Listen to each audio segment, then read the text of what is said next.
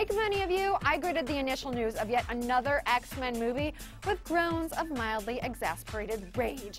With all of the overlooked Marvel properties out there, I mean, can we ever get a Deadpool movie? Two Punishers and no Deadpool? Is there no justice? You'd think they could stop flogging the X-Men dead horse for 20 minutes.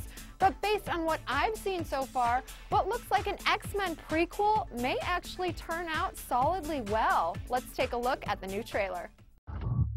Whatever the reason is you're doing this, focus on that. Maybe it will help. Trust me, I've been through worse.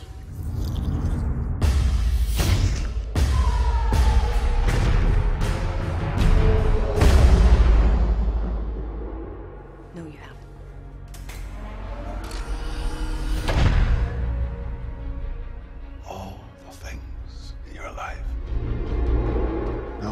the woman you loved was hunted down. I can make all this go away. I'm putting together a special team with special powers.